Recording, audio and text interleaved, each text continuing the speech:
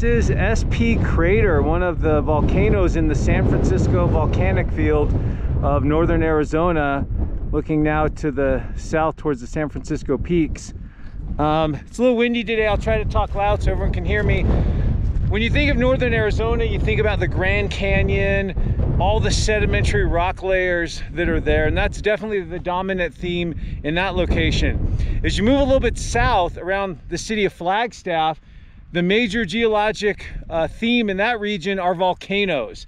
And so we have just all of these volcanoes. We're kind of at the north end, but every little bump and hill and crater and peak that you see in this area is some type of volcano. And we're standing next to one of the more uh, well-known, definitely one of the youngest volcanoes in the San Francisco volcanic field, and that's SP Crater. The San Francisco volcanic field uh, has been active on and off for about 6 million years, up until a few thousand years ago. We expect it to probably have another eruption in the future.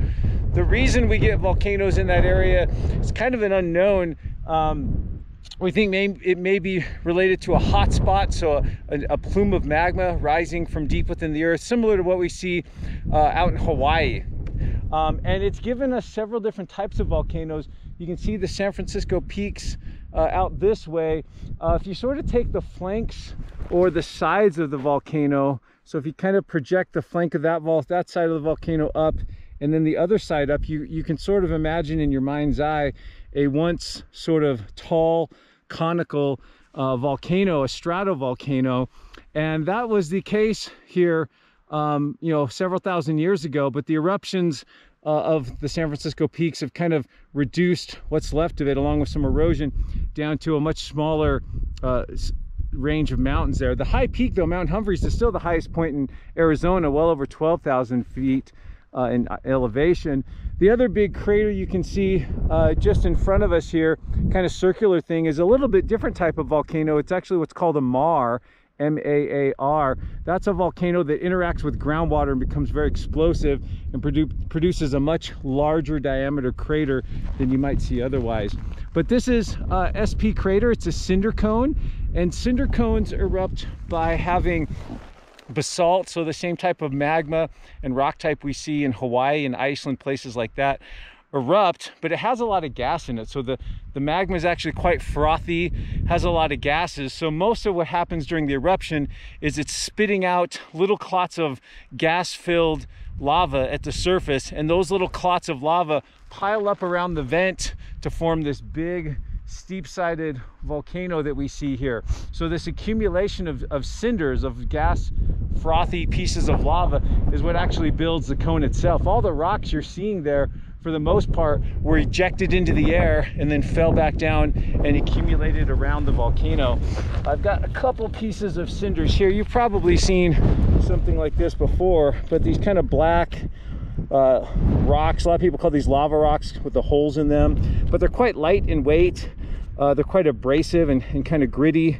They're used industrially. They're used as like a road base and, uh, you know, lining fire pits, things like that. So they have several uses, but that entire mountain over there is composed of just chunks of these cinders uh, that have fallen down around the vent and accumulated. Uh, if you get up on top or if you look at it on Google Earth, you can see it has a a bowl-shaped crater at the summit. Uh, so as the, the clots of lava are being ejected out of it, it kind of left a, a shallow bowl-shaped crater at the summit. And then a couple other cool things we see uh, coming out of these volcanoes. Occasionally it'll throw out a big clot of lava that's um, larger than just the smaller cinders. Uh, and those are what we call volcanic bombs. And they typically, but not always, can have uh, sort of this kind of shape to them. You can see this kind of streamlined shape on this rock.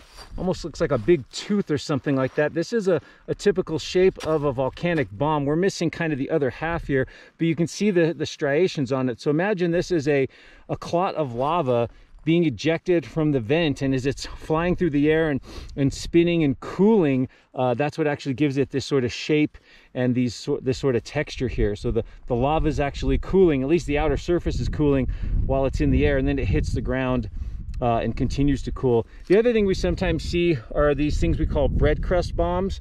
So where the outer surface of the, the bomb or the clot of lava uh, cools and creates these cracks, kind of like rising bread dough, bread, bread crust bombs.